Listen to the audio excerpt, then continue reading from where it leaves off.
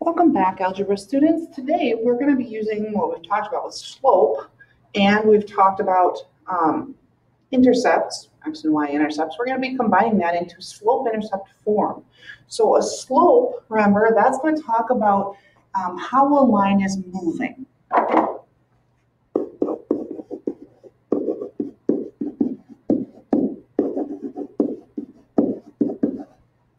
Okay, it can be a positive or a negative slope, horizontal or vertical.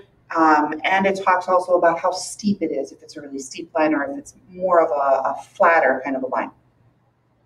The y-intercept, we've talked about x-intercepts and y-intercepts. The y-intercept is on a graph where a line crosses the y-axis. The letter that we use for the y-intercept is the letter B. And when we are graphing, that's where our graph will begin. So slope is how it moves. The y-intercept is where we begin.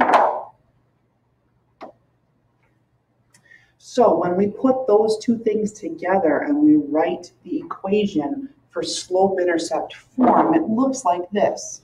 y equals mx plus b. So I just said that the slope, we know that m is what we use for slope. The slope is how the line moves.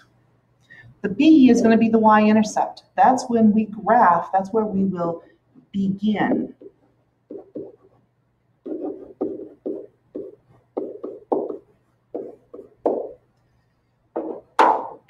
Hopefully, again, you remember slope-intercept form from last year, y equals mx plus b. And we've referenced that already this year when we were um, trying to decide if functions were linear, we said, could it be written like y equals mx plus b? So before we actually do any graphs, let's take a look at lines that are already graphed and see if we can find the slope, because we're good at counting slope, and see if we can find the y-intercept so we could actually write these equations. So the first one does have a negative slope. I can see that it's crossing the y-axis right here at 3, and I find some other points where it's hitting right on the grid mark so I can count my slope. So my slope is negative 2 over 3. The y-intercept, remember we're going to use the letter B for the y-intercept, that's right there. That's at positive 3. We don't need an ordered pair. We just want to know the number where it crosses the y-axis. Now that I know my m and my b, so slope-intercept form, remember, looks like y equals mx plus b. All I have to do is put my two numbers in the right place. I want you to notice there's an x in slope-intercept form. However, the slope is just a number. So when we're talking about the slope, please don't talk, tag an x onto the end of that. So this is going to be y equals negative 2 thirds x plus 3. I just said when you're talking about the slope, don't tag that x on there. However, some people are so concerned about finding these two numbers, when they write their equation, they totally forget the x in the equation. So make sure that you're getting that x in the equation. The second one does have a positive slope.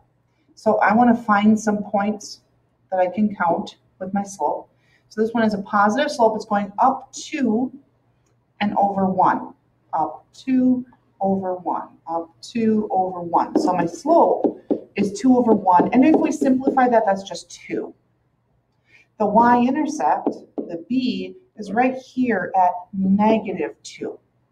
So when I write this equation, it would be y equals 2 for the m, x, and then if we keep it with the plus, like we have in the actual equation, we'd say plus a negative 2. You know that you can clean that up and make it look like that. Those are the same answer.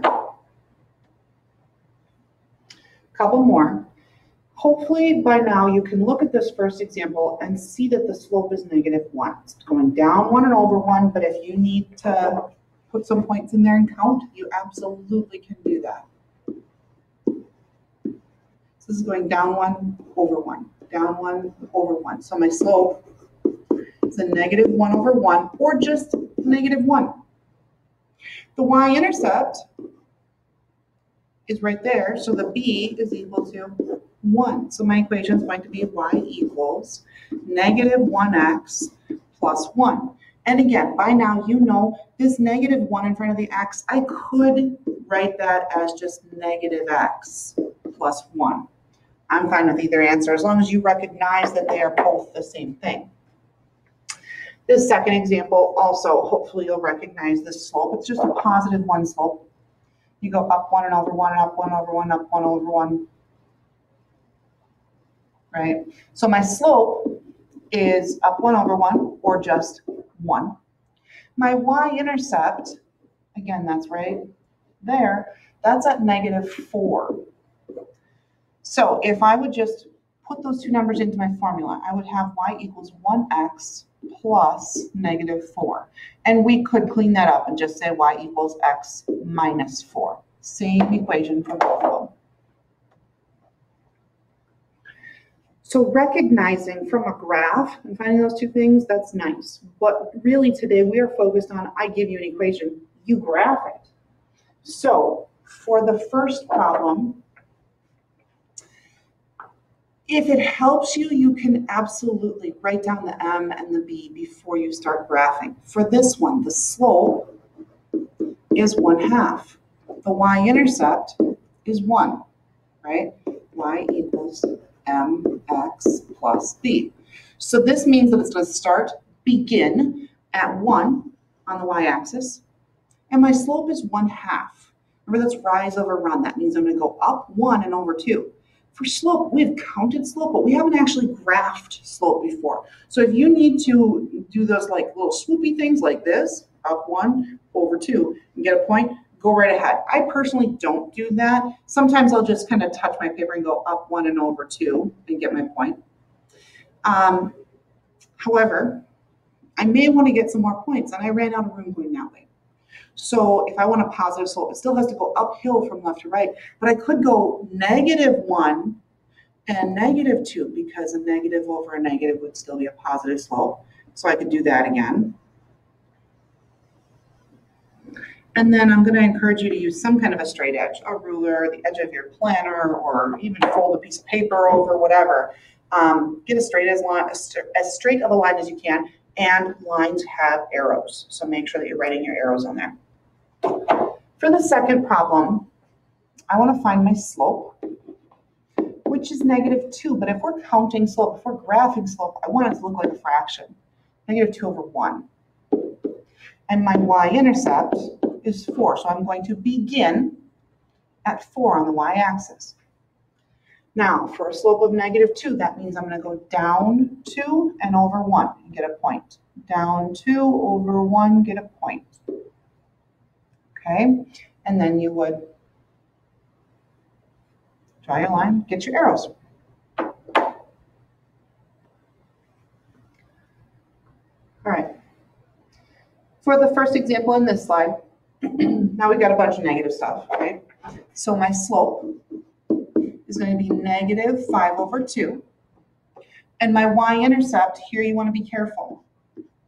Don't lose it, that's a negative. The y-intercept is negative 3. So that means I'm going to begin at negative 3. Now I need a negative slope. I need to go down 5 and over 2 from here, but my graph is not big enough to do that. I know that it needs to look like it's going downhill. So instead of going down five, what if I would go up five, but then go left to work backwards? So if I would go up one, two, three, four, five, and then left two, that does look like a negative slope. And in fact, on this problem, that's the only two points that I can get. I don't have space to get another point. So as soon as you've got those, you can draw your line. This last example looks like it's missing stuff you know that if you have a negative in front of a variable, you can sneak a one right there. And I need something to be added at the end, but it can't change anything. So I'm gonna add a zero. So my slope is negative one. My y-intercept is zero. That, that means I'm gonna start at the origin. And my slope is negative one over one, so down one over one. Get a point. Get a bunch of points going that way, or up and left. Draw your line. So today's worksheet uh, for your practice problems, it's uh, another riddle worksheet. Uh, whom should you talk to? Who, whom should you see at the bank if you need to borrow money? So it's the borrow money worksheet. The answer key is in Schoology. And make sure you take the formative quiz when you're finished with that. Uh, on this worksheet, on these practice problems, when you draw your line, you should be hitting one of the letters around the outside of the graph if you're doing it right. If you don't hit a letter, you might want to go back and see if you made a mistake. Let me know if you need any help.